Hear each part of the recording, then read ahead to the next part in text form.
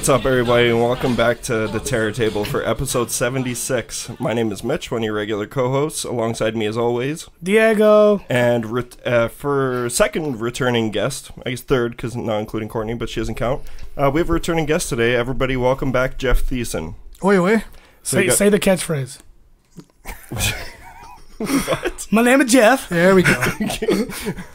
I was worried it would take more than nine seconds for that. Um, okay, I'm just gonna get some things out of the way first. If you're a first-time listener here, the Terror Table is a podcast dedicated to unfiltered and unrated discussions on the horror genre. Uh, today we are discussing the Monster Squad, the film by Fred Dekker and Shane Shane Black. But Squad uh, up. um, but what should be said about that is like we're we're gonna have a general conversation about the Monster Squad, but it's also gonna be a big, heavy discussion on family-friendly horror movies and movies that got us basically another gateway episode. Um, we're gonna share some stories from listeners, and uh, it should be a good conversation. But before that, we're gonna do the normal thing where we just talk about what we've been up to and what we've been seeing. Um, but bef- to, to, uh, I guess to kick all that off is just say, well, of course, welcome back, Jeff. Um, since you've been on here, you've started your own podcast. You've recorded three shows. That's the So Be It podcast. Um, you've probably watched at least 20 more horror movies. Uh, you've had your testicles cut out, and you. Well, that was this week. it was last week. Oh, It was actually, yeah, it was a week from yesterday. Yeah. Yeah. why did we hold a funeral? And on top of that, on top of that, uh, most importantly, you've killed Roseanne Barr's career. I did. Yeah, that was you. Because we, we've always talked about how we accidentally kill celebrities and we talk about them on the terror table. You were talking about Roseanne. I think that was you. Oh, I, I don't think it was me, actually. Was I? Fuck, I'm pretty sure it was you.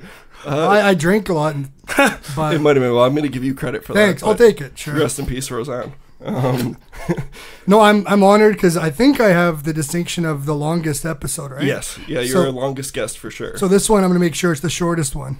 so every response will be six words or less. yeah. Just so you know. Very perfect. um, but yeah, so everyone knows that we were supposed to be doing our listener appreciation series, um, but we're holding off on that until we can have Boozy back here um, because we're not going to watch Dreamcatcher and let Boozy not see it. We're not going to let him get away with that. He's seen it before, right? Yes, but he, he was trying to strategically miss this one, but he, we're going to make sure he's here for that.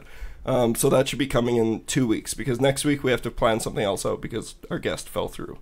Um, yeah, we'll talk about that after. Okay. uh, we'll we'll discuss that. But before everything else, I just want to talk about your podcast a little bit before we get going on what we've been seeing. Because so you've decided, like, what made you decide that you wanted to start a podcast? Because was this a thing that you wanted to do before you came on the Terror Table? yeah, it was a thing I've always wanted to do, but through a variety of reasons, mostly due to me being fucking moron who can't set up anything beyond uh, PS4. Uh, Yeah. I just kind of let it go by the wayside, and then I did the guest spot with you guys, and I was kind of like, yeah, that, that I think I can see a way where I can actually do this. So, That yeah, was it's a- been. that was so much fun. That was a highlight episode for me and Boozy. Oh, it was a blast. Yeah. I got home and I'm like, I think I can do what they do. Maybe. Mm. Just try to keep up, kid. exactly. Um, but yeah, so like, what w- one thing I want to get out of the way that we haven't talked about before, though, is what what are your opinions on film criticism, music criticism in general, uh, and what made you decide that? Because that's one th- question I get asked often is. Why you? Why do you have a horror podcast? What gives you the? No, It gives you the right. no, but yeah, like for lack of better words, what gives you the right to talk about this? Like, where where are your where's your credibility at? Uh, well, you know, if uh, you have as much credibility as anybody, I think that would uh, be in a position to be getting paid for it. Yeah, Like if uh, for anybody who don't doesn't know, I I'm a music writer who does get paid for it, and I have no credentials. yeah, Like there's, there's no schooling for that. So uh, I always, and I guess I'll, we'll talk about Craig later, who's a critic in, in a whole different ballpark. different But Craig. yeah, I always, I I actually wrote a big article once, basically being like, try to ignore critics, like find one you like and uh, move toward albums that they recommend and figure out why they're recommending it. But don't think that for whatever reason that they are represent an opinion that means more because critics to me critics opinions are a good frame of reference but i don't i honestly don't think they mean anything more than you guys in this room Yeah, and that's the other thing too is uh, even a couple years ago when I was getting dipping my hand in uh, filmmaking with uh, former guest of the show Dylan Hershuk, he was saying like he had been to film school. He went to Vancouver and he spent like two years of his life there, uh, getting into to the position where he can do what he does today.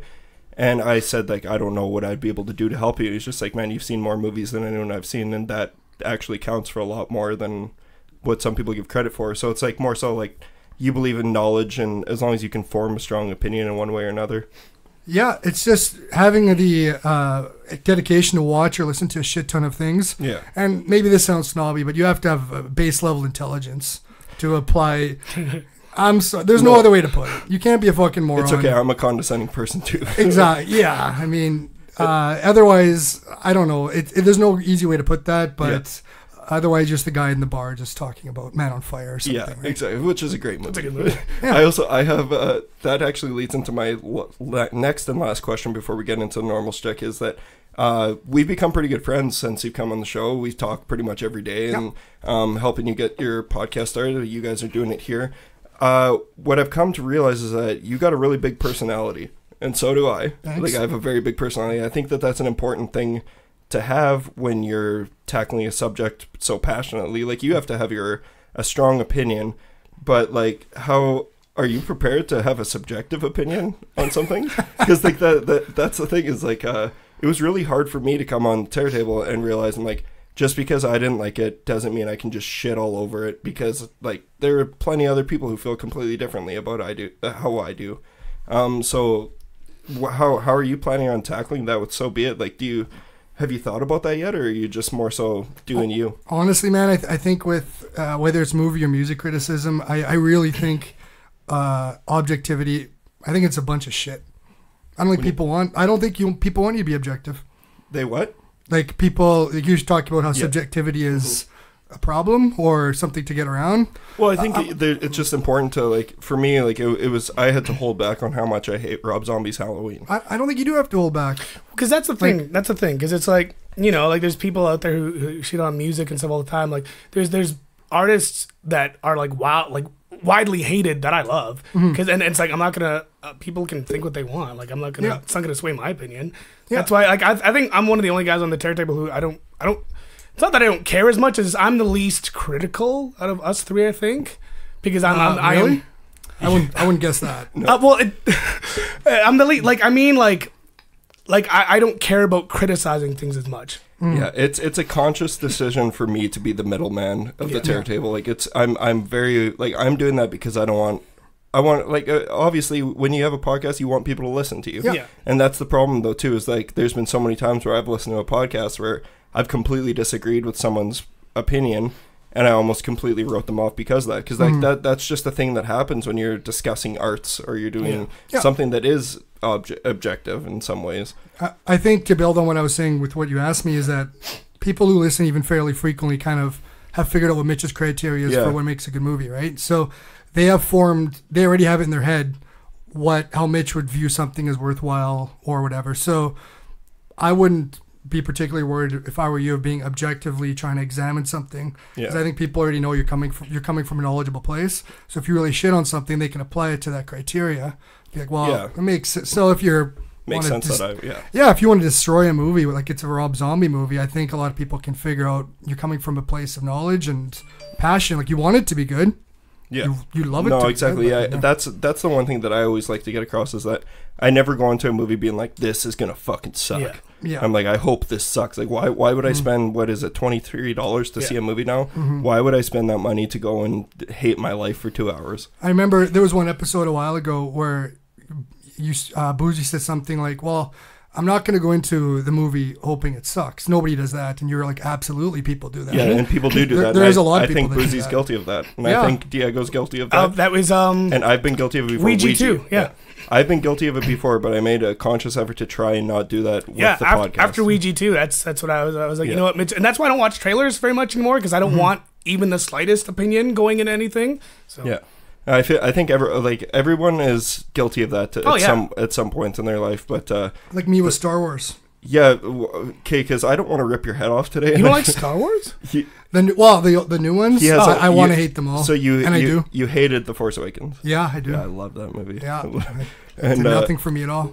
Yeah. and Well, I'm, I'm impartial. yeah, we're a horror podcast. Let's not get Yeah, we won't go into Force Yeah. Awakens. We'll get off it. Um, but yeah, that's a good as good time as any to just get into what we've been up to this week. So, do you want to go first, Diego? Sure, Jeff actually, probably I- has the most. I have some, yeah, I, I've because now that we're friends on Facebook, I, it's like Yeah. Jeff is watching this. Jeff is watching this. Well, he had his testicles. oh yeah, that's true. That's why you're so- in. Okay. Are you okay with us talking about that? Well, it's been too mentioned three times, so no, it's fine. It's a all good. All good. Um, so I didn't watch anything new, but I revisited a bunch of things.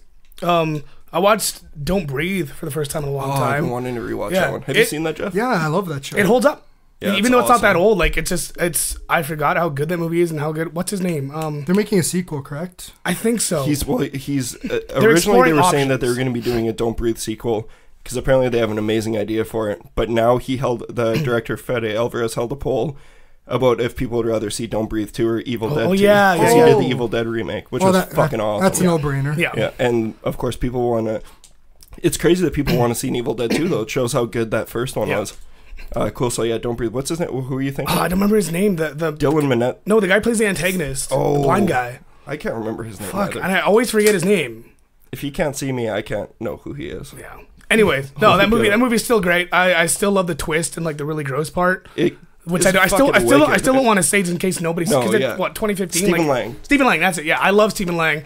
I don't think he's in enough. I, I wish he would have been Cable in Deadpool 2, to be honest. No. Yeah, I, I could have seen him being He- Cable. yeah, he would be a good cable, but Josh Brolin's also fucking awesome. I know, but I, I just love him as Thanos. I just listened to a podcast with Josh Brolin on Marc Maron, and he just the whole like there's like a half an hour where he's talking about all the drugs he did when he was a teenager, and I was like, this is amazing. And he's talking about he's like smoking heroin and shit. Smoking like heroin. he was actually doing because all apparently all of his friends from the '80s are dead. Like 'cause they were all in like punk. He was in a punk band and shit. I'm like, I had no idea about Josh Brolin. Yeah, if you're smoking heroin when you're 14. Yeah, exactly. Like, yeah. um, uh, Sorry to interrupt. Was Stephen Lang actually up for the role of Cable? Or you just? Are he you was just, con- he was considered. really? Oh, Yeah. I, did, I didn't Wow. know. I think I- he's a little too old. Yeah, I think, and I think that's why they didn't go for it because I think they were like, we want somebody who's not that old. Right. Yeah. So, I think Brolin's just perfect. Brolin's perfect for like Marvel, though, like, Yeah. in general. um, uh, Darkman, rewatched that for the first time in ages. Still love that movie. I, that's a movie that I think it's. Oh yeah, the V- and that's why I watched it actually because I remember I, I saw the VHS in my head. I'm like, I have that on Blu-ray. I need to rewatch that. That's still one of my favorite Liam Neeson roles. Oh, it's Yeah. awesome. And I think it's it's it's an underrated movie that you know like I don't think enough people have seen like to this day. Okay, was that before or after Schindler's List? That had to have been before. It, ha- It yeah, was 19 before. yeah, Schindler's List okay. was 94. Yeah, and uh, Darkman was 90s. Because Yeah. it's like, there's no way you could go with No, that you can't role do- after, No. after Schindler's List. But at the same time, it's weird that they they got him for Schindler's List after Darkman. Yeah, yeah, that is. But I guess you don't see him all like, that we often. Steven Spielberg's like, I loved you in Darkman. I want you to play this guy in a, in a Nazi Jew movie. Yeah, hey, Sam Raimi. No, Sam oh, I was like, yeah. I was like, Sam Raimi didn't do Schindler's List. That would have been a much better movie. That would have been superior. Hey, that was a great movie. Um, I, I watched. This isn't horror, but I rewatched Locke with Tom Hardy. Yeah, we gotta stop doing that, but keep But going. that's hey, that's a good movie though. it's a great movie. have you seen Locke? No, I've It's- actually never heard of it. It's, It's Tom awesome. Hardy in a car for an hour and a half. I got it on Blu-ray if you want to borrow it. It's fucking great though. Like it's it's a bottle up. It's a It's a bottle one man movie. play. Yeah, it's it's Really? literally just him. It's kind of like uh, Phone booth. phone booth. No, um, I- I'm more so thinking like 127 hours. Like, Yeah. But he's in a car and just his life is unfolding while he's on the phone, and it's Oh. just it's an acting clinic. Yeah. It's he's so good in it. And, like that's the one movie because like Tom Hardy's been guilty of doing like the mumbling thing in lots of movies. This one shows that he's a great actor. Yeah, actor. it's fantastic. So it's like a mobile version of phone booth, yeah. kind of yeah. I don't which you wanna- love, right? I love yeah, phone you booth. love Yeah. phone booth, yeah. Um, this is gonna be weird having a guest on here who actually listens who to us. knows I know. and I remember everything too. So You Uh, remember that I gave Alien a five out of ten? Covenant. how Yeah. can you forget that? yeah. After shitting on it. I will never forget that. I wish I could. Sorry, Diego. Go ahead. Um, been playing some games. Um, everyone who's been listening knows I'm a Castlevania fan, and how I was on Erie International the Castlevania episode. The one of the creators of Castlevania has been making this game called Bloodstained something. I think it's Shattered Memories, maybe. But it's been it's been in Kickstarter. It it like broke a world record for like fastest Kickstarter goal reached, and it still has no release date. But a bunch of the old Castlevania guys made a new game that's it's basically there's a new Castlevania game. It's it's it's just not Castlevania. But I've been playing that today. Actually, I downloaded it and it's fucking awesome. Um, like, on do you, are you a video game fan? Big time, yeah. Like, Yeah, he's did you play playing God of Castlevania? War. Uh, the, yeah, the old ones. Okay, well it's it's it's like it's 16 bit, so it's it's literally like it's Castlevania 3 basically, but on PS4 and like They they Oh, that's awesome. Yeah. That, that's speaking my language. Yeah. I love Castlevania 4. Was it on Super Nintendo? Yeah, Yeah, yeah, Four four. was I, fucking awesome. IV or whatever Yeah. it was. Uh, no, it's it's, Roman it's numerals. yeah. you Yeah. fucking degenerate. um no, it's fantastic. It's it's literally retro. I can't I it, unless it's Uno dos tres qu- cuatro. I don't know what it is. it's fine. Welcome to Canada. Yeah, thank you. Even the government hasn't said that yet. Isn't do you guys remember the scene in Simpsons Eleven of Troy where Bart's in with all the tigers and Oh, yeah, yeah. yeah, and he's like trying to think of Roman numerals and Oh yeah, Rocky Yeah. one, Rocky. Two. Adrian's Revenge. Yeah. yeah. Sorry, I, Um, th- I thought it, you were Bart Simpson essentially. yeah. um, yeah, it's awesome. So if anyone likes Castlevania, it's a I guess I'm just confused. Why would they make a new 16-bit game? because this one like it was part of it was just one of their their kickstarter goals was like if we reach this much we'll also make this Okay. to, to kind of tie people over until the actual game comes out but it's a full-on game it's not like a an hour demo or anything it's it's they flat out went and made a whole new 8 16 8-bit game Huh. and it no it's uh it's the main guy who made Castlevania and like the main um, composer so it's all the same music and everything Oh, that too. music was sick. Yeah. and like just like basically the same gameplay and everything and it's awesome and it's on PS4 Switch and Xbox and I got on PS4 so Perfect. yeah, and that's about it for this week. Sweet. All right. I did uh, some things. Yeah, there you go. I'm gonna take care of mine because surprisingly enough, I didn't watch anything. So, I, but I gotta. Yeah, I know that's crazy. But Court, um, I'm gonna go first though because I know Jeff's got a lot. Uh, first thing is Courtney and I went to Edmonton over the weekend to see her favorite musical act, Bon Iver. And while we were there, I had plans to get a half sleeve tattooed. Um, so I went for my appointment, and that didn't work out because he had the like. This is a guy we're going six hours away. He didn't have a reference of my arm, so it just ended up not fitting on my arm very well. It didn't look good, and he basically told me he's like, "Don't do this, man. Like I can do something better than this." And for me, like that's amazing. That like a tattoo, he could have made a killing right there. You could have made money just yeah, to, just by doing it. He's just like, no, he's like, I know that's such a good spot on your body. You don't want to, re- you, uh, you don't want to f- fucking waste it. Um, so I was a little bummed out that I wasn't gonna get anything. So just on a whim, he was like, "Do you want something else done like small?" So he added to my horror leg, and I got the Bates Motel tattooed on my leg. Nice. have you? You haven't seen it yet? No. It's on Instagram. Uh, you don't have Instagram. no, sorry. Check this out. Oh, that's fucking awesome. Yeah, it's all fucking. Yeah, I'm fucking really stoked about it. And he did it in like 20 minutes, or he drew it up in like 25 minutes. It's a house, but Yeah. like he's he's an unreal tattooer. So I just want to say follow Chris Benson. He's CB tattoos. And that's cool that he like he was like I don't want to like yeah, that's amazing. that 'cause- that's that's an artist. Like they don't Oh, want to is, fuck it up and shows just to that get money. cares, Like, yeah. yeah, He- like, and that's the thing. He's not gonna- like this shit's on you forever. You don't want to regret a tattoo. Like that's uh, one of the worst things you can do. So Some of this, some of the tattoo artists get a little too far that way, though. Like I, Yeah. me- I remember when I got the this one. Um, Did you forget which arm it was on? Well, I have two. Oh, I didn't remember which I, tattoo. I it was. didn't see that one. I I was waiting in line, and uh, some girl I think wanted to get. is that a what are they, swa- swastika? Yeah, I, thi- I think it's a swast. Yeah, that's, that's what they're calling it. Swastika, Yeah. Yeah, yeah. It's it was a mistake. uh, Sorry. no, it's okay. It's not Uh, a swastika, by the way. no, I, that's not the technical name. Uh, uh, no, it's it's a Led Zeppelin tattoo. But anyways, when I was in line, there was a girl in front of me who wanted to get uh, like wildflowers, Yeah. and the tattoo artist was like, "Oh, that's beneath me. Get the fuck out of my shop." Yeah. me I'm just like, that, yeah, that pissed me off too. And, and he's like, "We're artists. Like, you think that's what, what my art represents?" And I was like, "Well, Quick question: Was that Tantrix? Yeah, Was it? It was Absolutely Mike was Tantrix. Thompson, that piece of shit. it Like, might have been. I don't know." Yeah, See, that- that's the shitty thing. fucking garbage. Because it's like there's one thing of just being a dick, and then there's one thing of being like I don't want to ruin your arm. No, Yeah. well, and that's like my other friend. Like he, he's uh, he's a huge str- uh, strung out is his favorite band of all time, and he just wanted an Astrolux. Like that's their symbol. It's not even like the band name. It's just like what you have there. Like it's a symbol, and the Tantrix wouldn't do it for him because he's like, I'm not going to put on something that you're probably not going to be into in ten years. Well, fast forward 18 years later, he went and got it somewhere else, and he still loves it. Like it's like Fuck that. that's the thing though. It, the difference is if it just doesn't work and they think that they can do better, that's completely different than saying Someone just you're- being a you- dick. Yeah, I, I wouldn't wear that on my body, so fuck you. You're not getting it on yours. Like that's such horseshit. Well, yeah, like with you, he was kind of making. He he didn't think it was proportionate to your No, arm. yeah, he's he didn't Yeah. know that I was such a big guy. Like he's Yeah. like, man, I had no idea your muscles were that huge. And yeah, he, he did not say that. I was about to say fuck off. Like, there's no way. But, But- but when I heard that, it was it wasn't that. It was like this is my art, and you are disgracing me for even. yeah, fuck yourself. And I was like, do I even want to come here? But 20 years later, he still sucks at tattooing Yeah, too. fuck him. Yeah. Um, one one last thing I'm gonna say though is uh, how was the concert?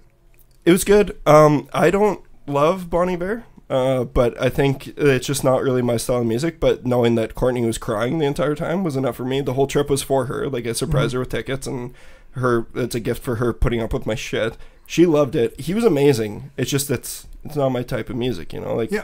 it was entertaining though. Like I will say, they had two drummers, and those fucking drummers were unreal. And they were doing like they they beefed. If you listen to Bon Iver, you're like, how how are the drummers? They're like, what do they do?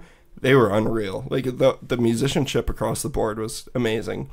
Um, yeah, it was pretty cool. Courtney loved it. That's what's important. How were the visuals? Were there any visuals? Really at all? crazy. I, Uh, I could imagine. I'm sure there's- Right? There's Yeah. pyro, Yeah, probably. yeah, no, just yeah, yeah, no pyro, but like yeah, visuals were straight up acid trip. They have an Like, air horn.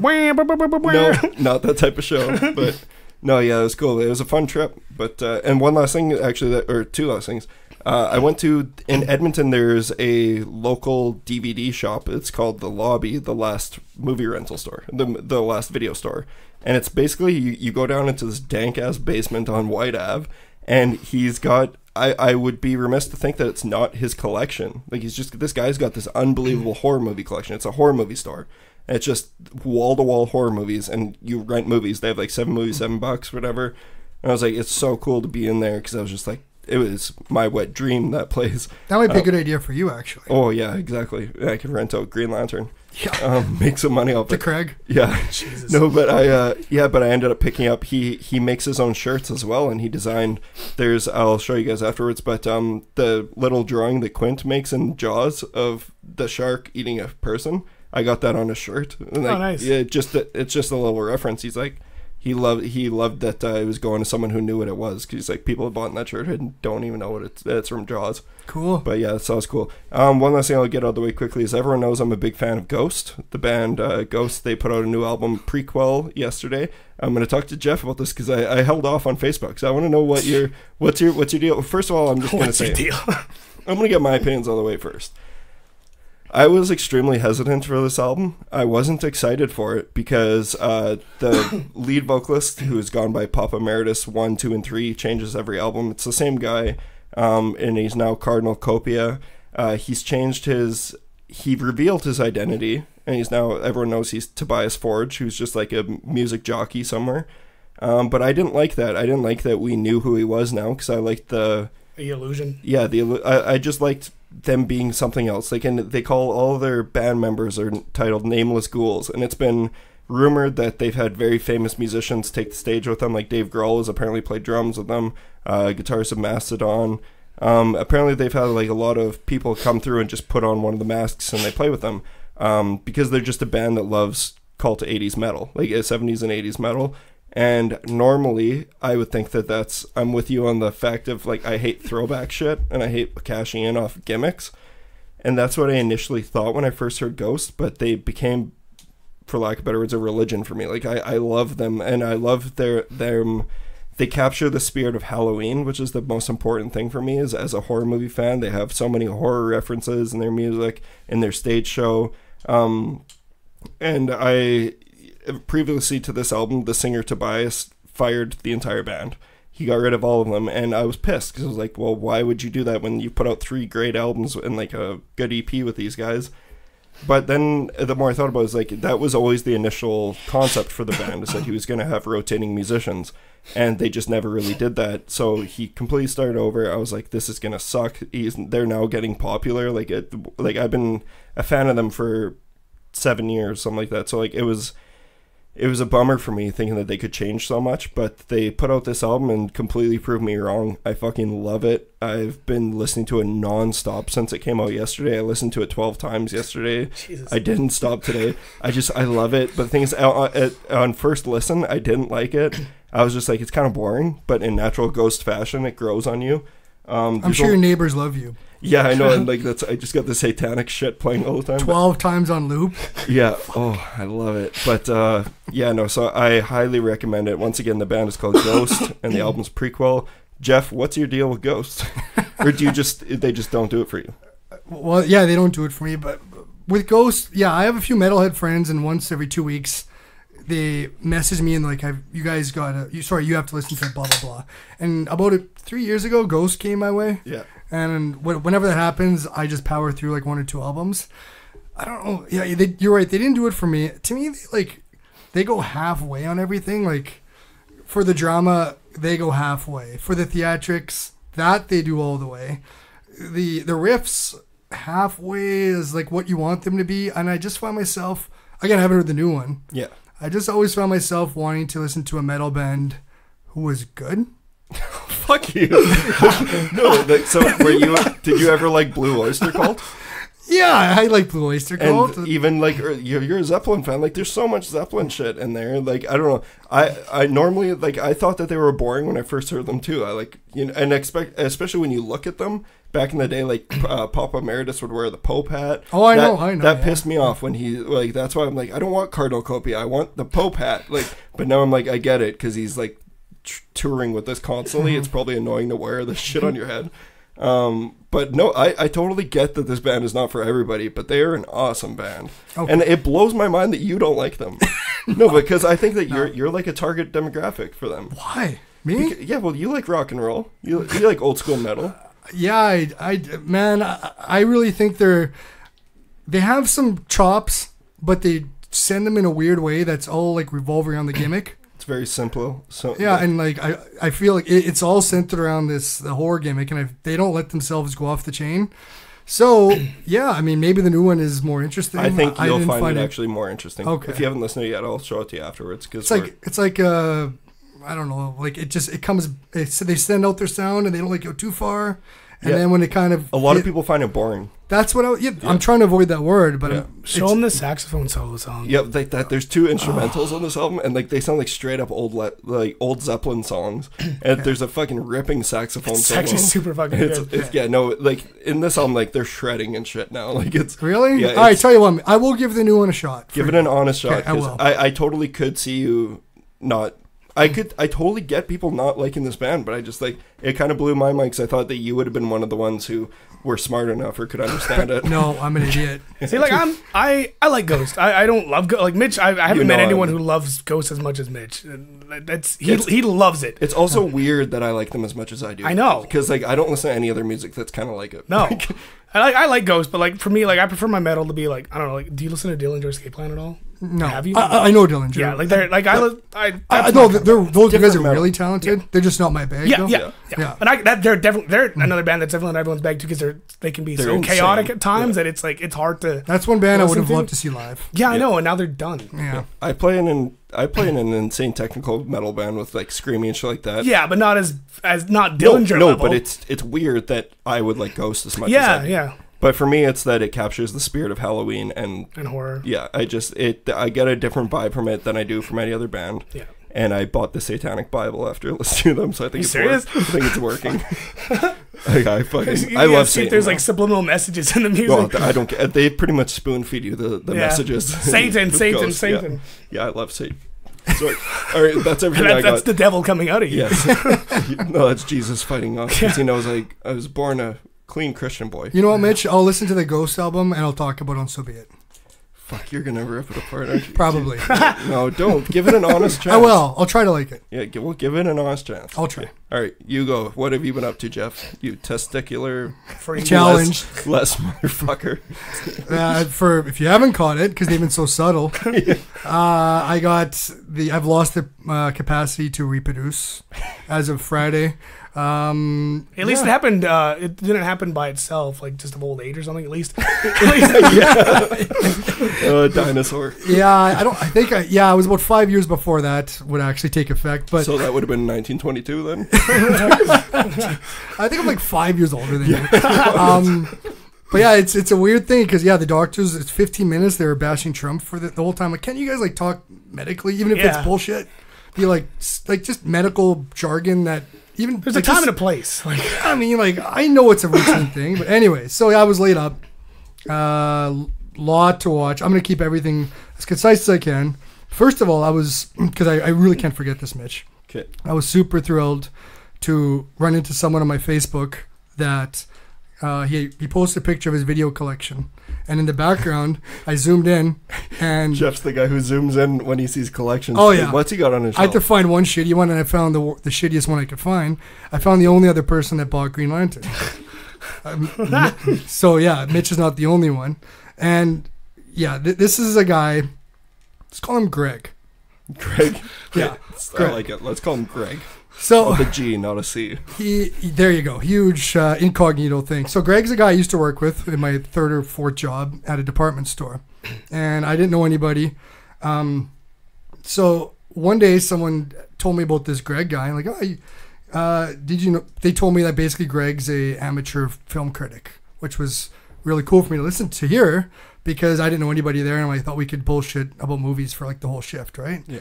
So what I didn't know was, like, yeah, he he ran a uh, amateur site. Uh, it's called Greg's Cinema Corner. and and so I, I talked. So I went up to him and I I remember I'm like, okay, I got to kill some time. Maybe this guy can help me. And what I didn't know is that he is so like obsessed, like masturbatory about him being a critic that you can't talk to him on a normal plane about movies. So I would go up to him, and it was like 2004. So like a good example would be like, uh, "Hey, Craig, like, have you seen Dodgeball?" Yeah. And he would be like, "Yes, I've seen Dodgeball." And I would be like, "Yeah, what'd you think?" Uh, well, I thought it was a little subpar. What did you think? And I would tell him my opinion, and then he would actually go into like a review on the floor of like of Dodgeball. Like he would talk to me as a review. So he would be like, "Well, what you didn't get was the subtext of the." Uh, you know, dodgeball Oh, represents the uh, aristocracy of Oh the, my god. yeah, and uh, and what maybe didn't get is Ben Stiller's character represented, I don't know, Stalin, and Jesus. and, and I'm just like, holy shit, did you like it? Yeah. I don't know, did you like Dodgeball? It was over my head. you should have asked him what he thought about American Pie 2. I showed him. yeah, and then, and then we brought up Man on Fire. Like that was another thing. He, Man on Fire, he explained to me in extremely complicated terms. So eh, if you ask him about anything, he, he goes straight to. He sighs first, eh? I've noticed that because I watched a couple of his videos. He does the other thing where he goes, Well, Glad you asked. You. yeah. I'm Do just you have time? It's like three o'clock, and we're by like a furniture section that nobody's shopping in, and uh, yeah, he's doing like, yeah, like speeches on. Anyways, And one is, you know him too? yeah. oh yeah, We yeah. both, that's what he's, that uh, Jeff showed me a video of his. I'm like, I know this fucking asshole. He used to 'Cause come I've- to HMV all the time. Yeah, I've been to so many movies on opening night, of course, where he sat in front of me and whoever I was with, and uh, like whoever I was with, we'd always just be like, "Are you fucking hearing this guy? Like, have you listened to the words that are coming out of his mouth?" Like, so where are we getting at with this besides being like, "I want to give him a swirly and nugget him"? Oh no, kidding. He had zero self awareness, and like he would talk the same way about Mystic River Yeah, as he would about uh, Enemy of the State. You yeah. know, or so, like, and, and it was always a five minute speech, and then by that point, when I when I would offer my opinion, it would mean nothing because the review was already in, and I'm just a commenter under the review.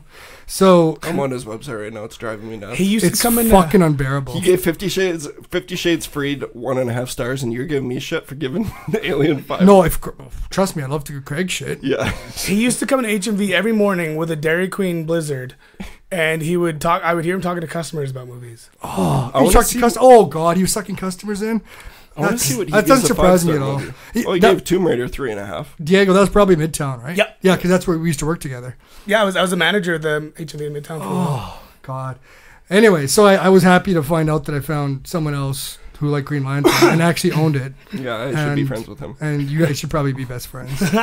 Um, but yeah, other than that discovery, which was huge, um, uh, I guess sorry to give a reference, it'd be like like as a music critic, if someone talked to me about Soul Asylum and I went on a five minute speech, Yeah.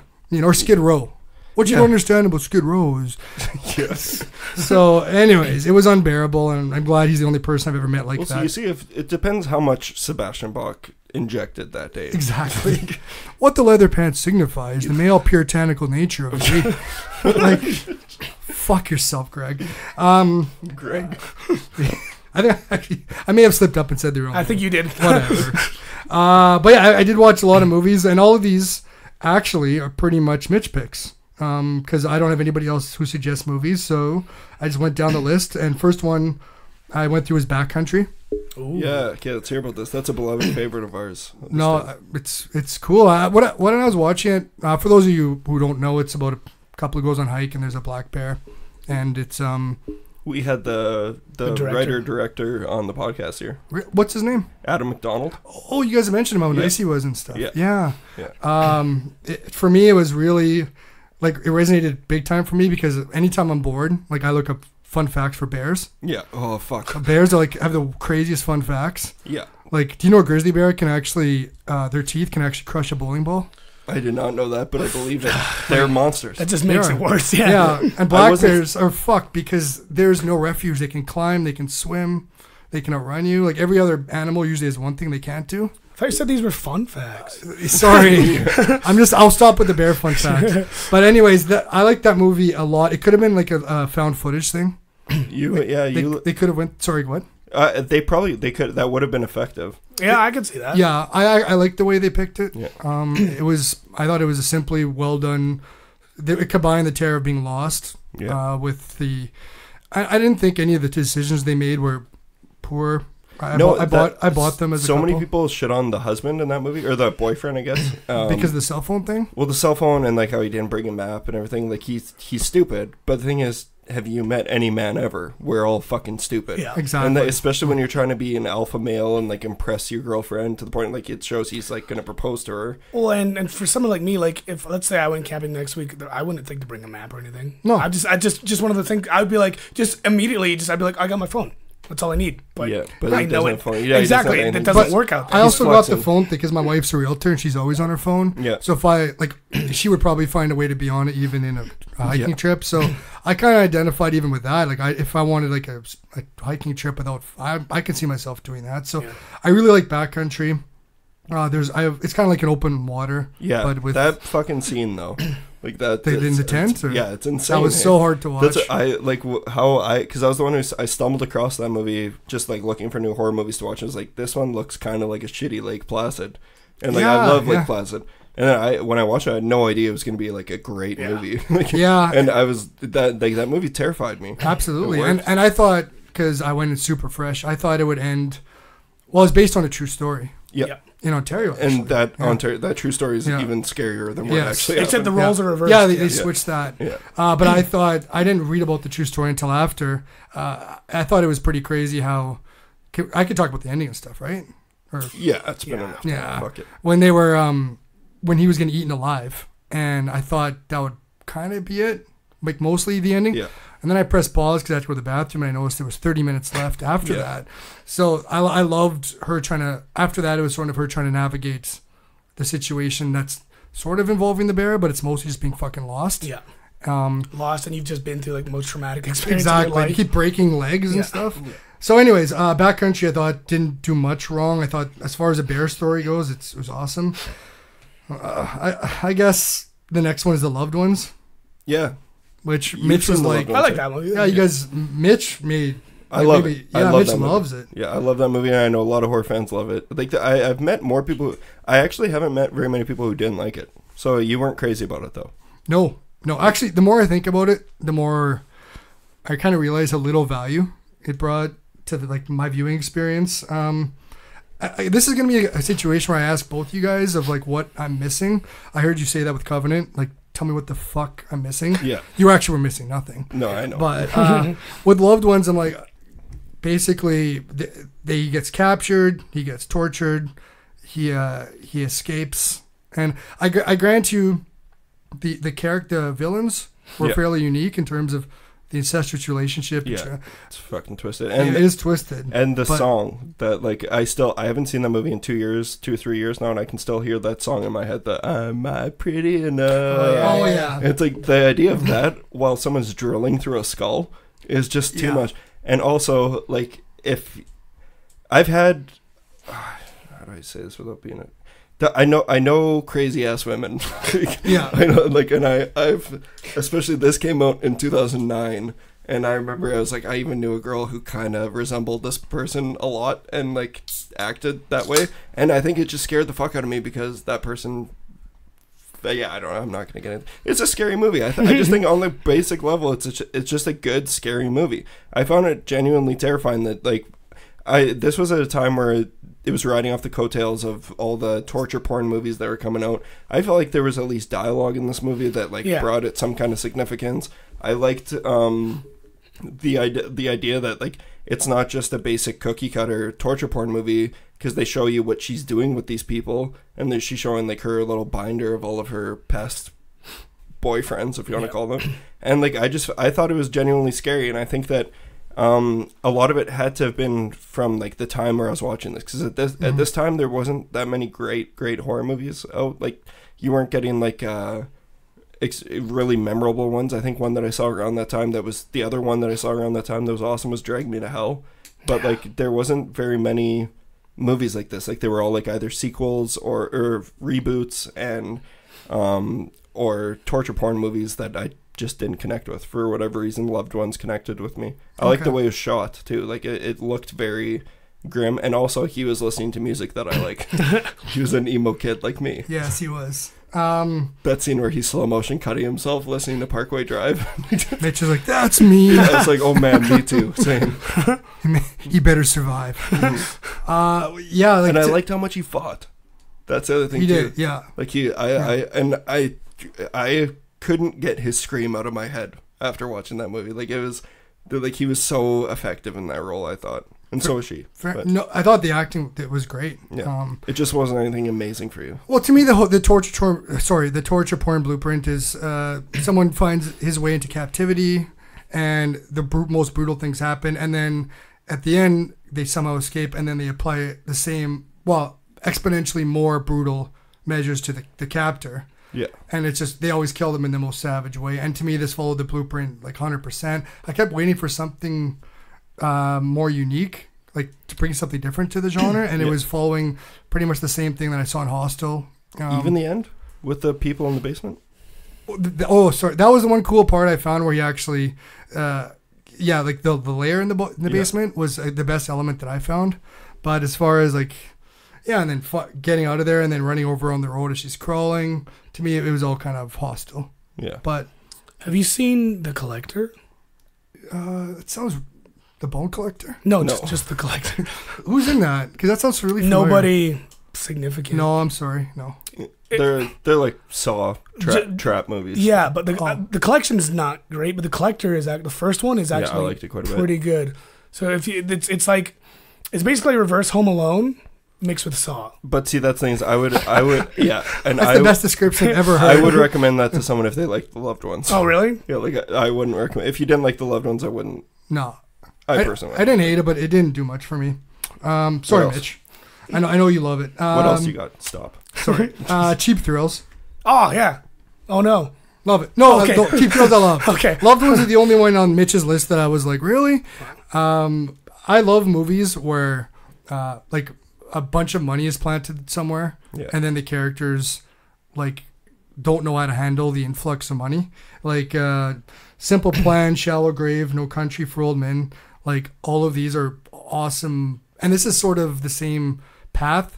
But it's it's it's the only one I've seen that has a blatantly dark comedy vibe to it Totally. those other ones that I mentioned are really serious, and and I I don't know about you guys, I didn't know where this was going. No. Uh, No, the first was- time I watched it, no, and I, like I love movies that go from zero to hundred, like, that like just like that, does. and it imme- just immediately, Yeah. yeah, That and it, I don't know. It, it's just so fucking entertaining seeing that because it's another one. Like when we did an episode on that, we had people like send us in messages like, "What would we, what would we do for a certain amount of money?" And it's like that's always a good. It's always a always a good question. platform. Yeah, Like, you can always. There's a price for everything. yeah, exactly. And uh, I, the ending, I love Pat Healy too. The guy, him and Ethan Embry were the two main guys. Oh guys. yeah, I know He's- you love Pat Healy. Yeah, and he was fucking- perfect in Yeah, that. he's so good. And David David Koechner was really David good in that Koechner, role Sarah too. Paxton, yeah. who's a Family Channel star until this. Uh, he did a lot of coke in that movie. yeah. Yeah. Every twelve seconds. Have you seen? Jesus. uh, but yeah, like yeah, cheap thrills didn't disappoint at all. Uh, I can't believe that was under my radar. Um, that was a, such a black comedy. And then uh, Autopsy of Jane Doe. Yes. What did you And- think? Man, again, I went super fresh. Yeah. I didn't know it was fucking Emile Hirsch, and I love Emile Hirsch. Emile Hirsch is awesome. I was and like, Brian Cox. What happened to you? Because I, like I thought huge things were happening for Hirsch.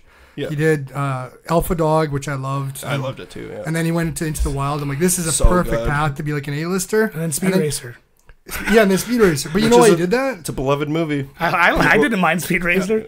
Uh, well, he he uh, he got super shit faced and stoned at at Sundance, and he He chokeslammed his, his woman. Yeah, a woman, his What? manager. Yeah. a Paramount executive. Yeah, it was like his ma- his manager, or something like that. He like choke slammed her. yeah. And he was all fucked up. and he yeah, he was like, "I'm sorry, I done. blacked out," Yeah, but that totally derailed his career. yeah, Holy shit! yeah. Yeah. Like that that was only like a year and a half ago. Like it was like a year and a half, two years ago. It's Yeah. crazy. and he was so due for huge things. I know, and I, lo- I love him. I think he's great. Like, have you seen um, one of my favorite movies of all time? Is a movie that's like twenty percent on Rotten Tomatoes. Uh, it's Imaginary Heroes Nope. with Sigourney Weaver and uh, Jeff Daniels. Like from oh man, oh, actually yeah, I don't know. It's a very melodramatic. Like came out around the time like Garden State stuff like that. Oh, I hate Uh, Garden State. You hate it too? Hate Garden State. I, well, I yeah. Okay, well, Sorry. let's keep going. Okay, but yeah, I was so happy to see Hirsch in there because I Mm-hmm. know. And then honestly, this was maybe the best acted horror I've seen in a long time. I think yeah. They were perfect together. Yeah. I thought. Do, do you guys agree? Yeah. Yeah. And I think that, like, I think, I don't know if I, I think it's that it's on so, so be it that I think that this is going to be one that people talk about 20 years down the road. Like, I think it's going to get discovered and it's going to be like the poltergeist in some ways to some people. Mm-hmm. Like, it's one that's flying so far under the radar. It is. The, the only thing that I uh, I didn't like about it, but it's it's kind of a tough spot for them is it, it's such a unique uh, blueprint they had for the movie. Yeah. So uh, there was a lot of exposition in the last fifteen percent when Yeah. they figured out about the the, uh, the, Sig- signal or sigils the, or bi- the, the biblical Sigils, passages, yeah. and then more importantly the the witch stuff. Yeah, yeah. There was a lot of like, okay, Cox is now explaining this what's going on in great detail. They had to because I it's such a fucked up Yeah. concept, but they also, as a viewer, I'm like, that's a lot for you to understand Yeah. based on 1633 uh, witch trials. Yeah. Yeah. So again, the exposition was probably it's something that they had to include, but I wish they couldn't. It was that almost sense. a bit rushed. Well, like they had to break They it down, but there's it's not hard for me to believe that the the, the coroner would have been like Yeah. The guy who know all this and a- everything. and explain Yeah. everything to the guy, and then knowing he had to sacrifice himself. I'm like, that's a lot of ex- of understanding based on uh, a very a life of science. yeah. Yeah. And then this crazy thing happens. He's like, oh, this is what uh, definitely happened. So uh, that's the only thing that I didn't love. That and it's same. It's that's uh, Andre Øvredal, the director. He also did another movie, The Troll Hunter. Have you seen? yeah, I, I, I've, yeah, I've, I've seen Troll Hunter. It's Yeah. great, yeah, it's awesome. Different, different, much different. Yeah, and that's what I liked about too is like I, everyone's wondering like where is the director of Troll Hunter going to go after this, and it's still in the realm of horror, but it's completely different. No, it was it was such an original idea. Yeah. and uh, I wish more horrors would tackle something like that. Yeah, I just think they painted themselves into a corner with the end. yeah. Um, and, uh, and of course, I watched Showdown in Little Tokyo.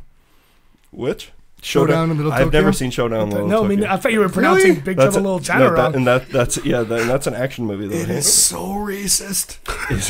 Wait, is, like- is that the one with Mickey Rooney? N- no, it's with Dolph Lundgren and oh, Brandon okay. Lee. yeah, Brandon Lee. That's the one. Yeah, Showdown in Little Tokyo. It's and like I never, I always am the guy that gives grandparents passes when they're racist, and I'm always the guy that will like politically incorrect movies in 20, 30 years ago. I'm like I'm more of like forgiving. This was Too much. horrible. It was too much. Holy shit! I, if you guys saw it, I would have. I actually had to make racist notes, Oh, but you guys Oh. haven't seen it, so I can't get into the litany of racism. Yeah, I don't know if we want to. uh, Well, no, it's like I'm, I'm not. I'm condemning it, yeah, but it's just like this would be like not even releasable, even on like the black web or the yeah, dark web. I know. Let's hear Oh. some of them. Did you? Okay. Well, it's, it's That's Brandon Lee and Dolph Lundgren, Yeah, and they're partners. Yes. And but cops. so uh, basically, every Japanese character. So uh, there's uh, they're trying to solve a murder that happened in Little Tokyo, right? So every Japanese character is a complete piece of shit who's a violent criminal or rapist. So that's one. So there's literally not one positive Japanese character. Uh, and then, so then you're about halfway through, and then Dolph Lundgren sleeps with Tia Carrere. hmm Brandon Lee catches the end of it, and he he's half Asian, obviously. Yeah. He continually talks how huge Dolph Lundgren's dick is, because because the whole stigma Asians of- are all, yeah. all Asians are, you know, in awe of, you know, American guys' cocks. um, Dolph so- Lundgren's not even American. no, but in the movie he is. He's a yeah. Yeah. So uh, Asian woman, eh, like there's a obviously every second scene's a fight scene. Asian woman, women are constantly cheering on Lundgren, beating the shit out of Asian men, signifying that he's like the savior for Asian women. It's it and this happens over and over. Don't worry, there's only two more. Uh, so he rescues. They're spying on Tia Carrere. She is held captive by the lead uh, leader of this Asian gang, the the Yakuza. Sorry, and they see her about to do the uh, harikari, Yep. where yeah. So Dolph Lundgren, who's well versed in Japanese culture, Yeah. says, "Oh, she's about to commit harikari." So he flees and saves her from this brutish Japanese tradition. By the way, she is captive with the Yakuza lord and still able to obtain a dagger and form an elaborate suicide ritual. and so, anyways, good thing the American was there to see it. And Yeah. then the last part, and it's the best scene. It's the end. Uh, he literally at the before the last battle, he puts on a Japanese kimono. Oh, Yeah. So I, I hate oh, cultural appropriation. I think it gets Yeah. that's the one thing that gets so annoying. Yeah, my culture is not your fucking prom dress. Yeah. Yeah, yeah. Like, no, like I, I just mean like it's the PC thing that people get a little Yeah. stupid with. This was hardcore cultural appropriation. he put on a kimono and he had a fight in Little Tokyo, a big showdown with him. He slays him on the street. Asian people are cheering. He kills him brutally on the street, and then Asian people bow to the American Yes. Wearing a kimono. wearing a kimono, and they're like literally bowing him. Anyways, uh, see it. Is it a good movie? It's one of the worst things I've ever seen. Oh, okay. But uh, Tia Carrere, uh, I thought was naked, but it's actually a body double, which was unfortunate. Oh. Uh, but anyways, it was the most racist fucking thing ever. It's like Birth of a Nation type thing. Yeah. Uh, and that was my that was my laid up uh, movie trek. I ended off with the worst movie. But uh, and then and then of course Monster Squad, which Yeah. is the Which we'll talk about. Which is also another one that's like it could not be released today. I don't think it's extremely I have some points on that incorrect. too. Uh, You're Uh, absolutely right. yeah, man. we'll, we'll get to that. Yeah. But uh, before that, I have to bring this up now. Boozy messaged me about a week ago saying that he found he has a listener question for us, but he doesn't want me to read it or any of us to know what it is beforehand. Okay. So I'm about to open it. It's an unread message on Facebook Messenger. I haven't even opened it yet. oh boy. Um, he did this to Erie International last week, and I cursed him while I was listening in the car because I'm like, this is that's an impossible question to answer when you don't have any time to prepare for it. But here we go. Okay, so this is from Boozy. Okay, listener question for me. Uh, the person sending this what? Okay, okay, so, what the fuck? You having a stroke? Yeah. Okay. So you know when you're like just fucking hanging somewhere, chilling, like just like straight booling, and you gotta get up and go out, but you got a boner. What? Jesus fuck. just chilling, just like straight booling, and you gotta get up and go out, but you got a boner, and none, and not one of those like. Okay, you gotta read. You're this. crying. I can't, I can't read it. So this is a question from what the fuck? okay, this is from Boozy. Okay, so you know when you're just fucking hanging somewhere, chilling, like just straight booling, and you gotta get up and go out, but you got a boner.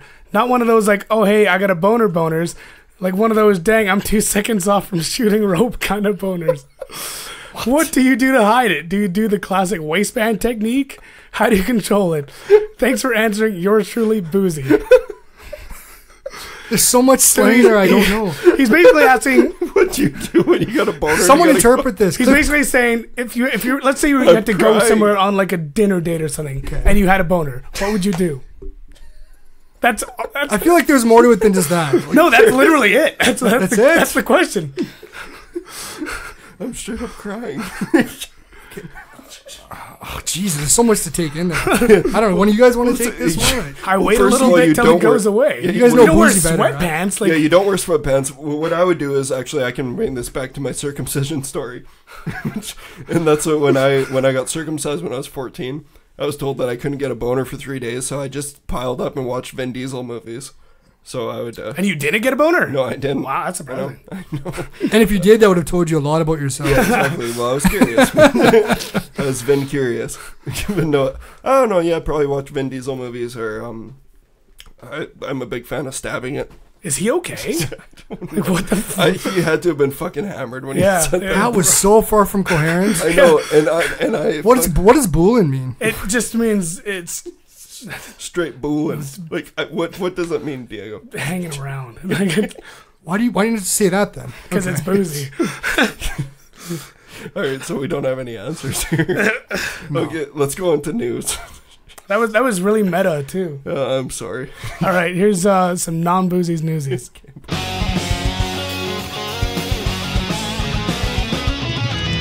Hey, yo, what up? It's Boozy's Newsies, and I'm Boozy, and I'm straight booling. Got a mad boner, y'all. Big time boner. That's all I can do. I'm sorry. Like, That's, um, that's more than enough. That was frighteningly accurate. Okay, so for Boozy's Newsies, even though Boozy's not here, rest in peace. Um, uh, a couple things. Todd McFarlane and Blumhouse have cast Jamie Foxx as Spawn, which I was extremely stoked about because that was my number one pe- pick for who I'd want to play Spawn. I'm down with that. Yeah, I'm super down for that. Do you have an opinion on Spawn at all? Uh, Besides well- the movie being a piece of shit. yeah, that movie was such a fucking mess. It's Uh, awesome. I I heard you guys mention how you guys were stoked about Jamie Foxx on a different episode. I, I'm in. only for that role. oh, sorry. I only want him for that role. Can you guys explain to me? I'm not disagreeing. I'm just wondering why you guys are stoked for that. Because he has actually said too that that's his number one dream role. Like that's like the role that he's always wanted was he wanted to be like a black superhero and he wanted like he he's always imagined himself as Spawn. So for that reason alone, if that person wants to play that role that Yeah, bad, like he's I- the right man I for think the he'll put a lot of passion into it and everything, and actually like give it his all. Okay. Like I've I've liked Jamie Foxx in in a I- lot of his semi-serious He's roles. super hit or miss though. Yeah. Like he's but the thing Yeah. is when he's on, like I, I think Jamie Foxx is a great movie in him. Yeah, Like he's done some good movies like Ray. Like he was getting Collateral was the tits. Yeah, Collateral so Yeah. good. When Yeah. I've even like I because I love dumb comedies. I like him in his comedic roles and everything. Yeah, too. like horrible bosses and Yeah. stuff. But I but I also want him to be able to redeem himself for that steaming pile of shit that was Amazing Spider-Man 2 yeah, with it where he played Electro? Electro. Yeah, that was- fuck, that was terrible. bad casting in general. Yeah, Was he? no- He did booty call too, right? Yes, was bo- him booty call. He has nothing to apologize for. yeah, I always saw that in the story of BHQ. um, okay, and then uh, I guess keeping up with the horror superhero stuff is Sony is planning to develop a Morbius Spider-Man Oh, living- spin-off movie. The Li- Morbius Living Venom. Vampire. Yeah, Morbius the Living Vampire. They're planning on doing it after Venom, and I guess now they're gonna try and redo the Sinister Six. Um, but this one's gonna be written and directed by Burke Sharpless and Matt Sazama, who have written Power Rangers, Dracula Untold, and Gods of Egypt. God, like, I don't know. Power Rangers wasn't fucking terrible. No, but, but- I loved how the way that I worded, like the way I had that. I watched your disappointment just rise. That's. Oh, I don't- That's. I always liked Morbius though, like in the old animated series. I like how loved they're. Morbius. I like how Marvel movies are. They're. They're. uh, th- Sorry, not Marvel. Not MCU movies, but comic book movies. I guess Yeah. they're. They're taking bigger risks with wi- weirder, that's a huge weirder risk. character. I know that's the probably the biggest. That's Morbius? bigger than. Yeah, like that's a bigger risk than Guardians of the Galaxy ever was. for was. sure. For like sure, that's. I don't know, and that, a lot of people don't. even- Do you know who Morbius is? no, sorry, yeah, this is no, all you. that's that's totally fine. It's that's what I'm saying is that like no one knows who fuck Morbius is. Like he's a he He's, seems a, he's a vampire. he seems really out of place in the Spider-Man universe. He seems anyways. he's out of place in Marvel comics in general. Yeah, he Like, is. That's but they that's why they're doing that. They're already getting their boner hard about this whole Venom thing. Like let let that movie come out first. I know, please. I know, I know. Okay, well then I only have one more thing. It's gonna be a short week. Boozy's the one who does all the the heavy lifting on this. Um, but The Crow is dead. Yes, The Crow remake. And uh, Jeff, you're excited about that, hey? So stoked. I am too. Love.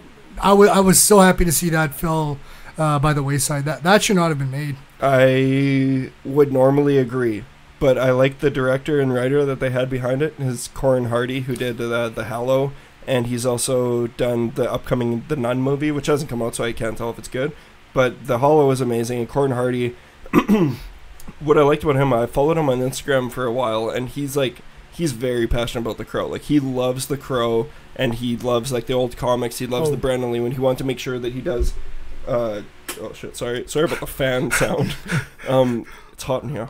But no, he he's a big fan of the Crow, and I think that, uh, and I didn't like the casting of Jason Momoa Yeah. as the Crow. That was my biggest That, complaint. I totally agree with Diego. That that killed it for me. the Jason Momoa. Yeah, killed yeah, it, He's killed it. he's it, that's the thing. He's not a good actor either. no, he's and that not. like, when I heard the Crow's being remade, I was like, okay. I'm like, it could be, you know, it could be we alright. talked we talked about Yeah. who we'd, we- we'd want. I think we both said Ezra Miller. Yeah, because he looks like the, without I want like a paint. crow, but in high school after Yeah. a school shooting. Sorry, Ezra Miller. I'll have to look that up. Yeah, he, you're gonna disagree hard. I think we mostly said it as a joke, just because he looks like he's he brooding looks all like- the time. yeah, Like he looks like he looks like the Crow, the like just in general. You just got to put a little bit of makeup on him. yeah. Uh, Oh, oh, oh boy. yeah. yeah, like we weren't we weren't hundred percent serious about No. it. But uh, yeah, he plays the Flash in the Justice League.